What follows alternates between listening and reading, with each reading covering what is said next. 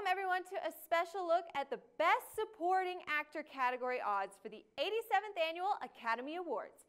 Now interesting odds on this one. Don't expect coordinating wins with Best Actor and Supporting Actor from the same film because these odds are changing things up quite a bit for predictions on who will take the win. J.K. Simmons in Whiplash, which takes the lead with minus 3,300 odds.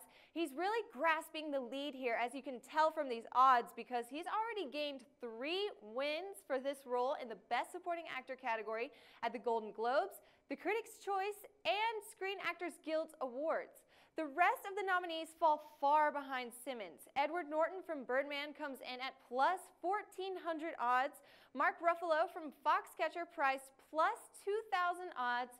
Ethan Hawke at plus 4,000 for his performance in Boyhood. And finally, Robert Duvall from the film The Judge at plus 5,000.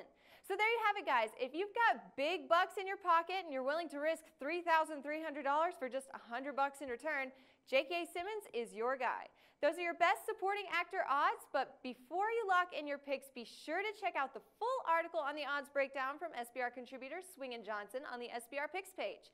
He's got some exciting picks on all the Oscars action you do not want to miss. Good luck on your Oscar picks, betting fans. Until next time, this is Megan Rochester for SBR Picks.